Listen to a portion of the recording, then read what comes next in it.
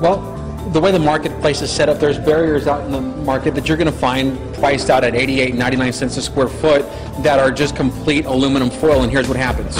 Yeah. They just, they're very delicate materials. Some of these materials, when you dissect them, are really just uh, paper-based materials on the inside, okay? With the conditions that we have here in Southwest and especially in San Antonio, you want something that's going to last, something that's going to perform to the highest level, Right. something that's, it's an investment, and you want, most people that make an investment only want to do that once, mm-hmm. okay? The reason for green energy barrier, this isn't paper, this isn't plastic, this is not aluminum foil. It's- It's a high-grade material, extremely reflective, one of the most reflective in the industry with the necessary permeability scales. And What that means to the homeowner is we're not going to trap moisture in your attic, okay?